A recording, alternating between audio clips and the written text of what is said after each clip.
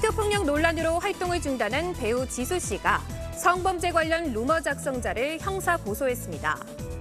지수 씨의 법률 대리인은 공식 입장문을 내고 지난 3월경 지수가 과거 성범죄를 저질렀다는 등의 명백한 허위 글들이 온라인에 게시되는데 이 글 작성자들을 형사 고소했다고 밝혔습니다. 수사 결과 작성자는 지수 씨와 전혀 관련이 없는 군인 A 씨로 확인됐다고 덧쳤습니다.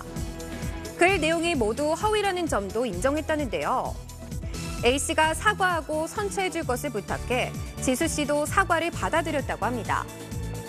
지수 씨 측은 A 씨 말고도 허위 글을 작성한 누리꾼들에 대해 법적 대응을 이어갈 예정이라고 전했습니다.